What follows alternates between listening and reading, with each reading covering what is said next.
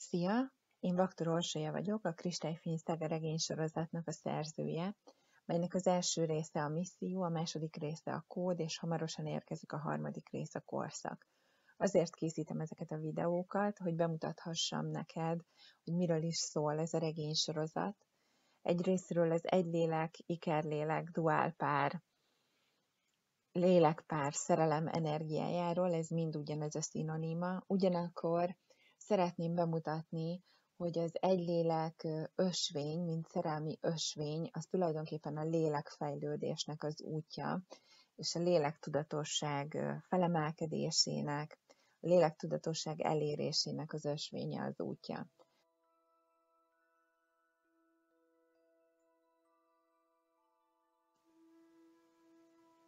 Amikor a lélek emlékezni kezd előző életeire, újra kapcsolódik azok hologram lenyomataival, és elevenné válnak jelenében.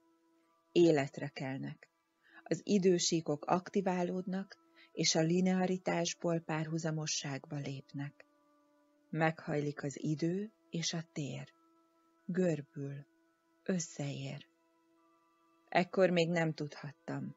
Még annyira, de annyira az elején voltam a folyamatnak, annyira a ködben voltam még.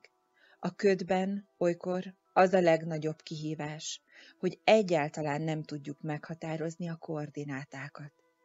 Az univerzum egyik csodája azonban az, hogy anélkül is működik, hogy mi értenénk.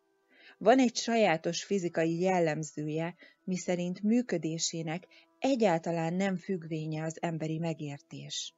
Teljesen mindegy neki, hogy mennyit tud az ember a működéséről, attól még él, lélegzik, eleven, és leginkább hat és kölcsönhat.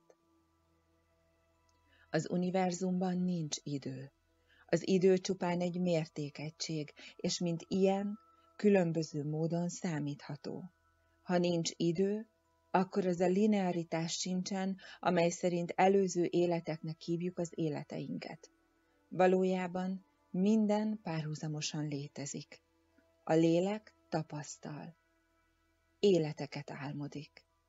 Az életek, mint hologram lenyomatok, léteznek párhuzamosan egymás mellett. Hatnak egymásra.